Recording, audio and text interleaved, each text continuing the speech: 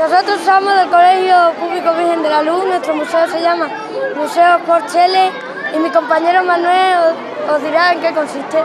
Nuestro, nuestro museo consiste en un museo de deporte que está dividido en tres partes, local de Chile, regional de Extremadura y nacional de toda España, en el que ha participado varios grupos de triatlón, atletismo, etc. Y tenemos camisetas donadas de clubes de España y también tenemos un artista que una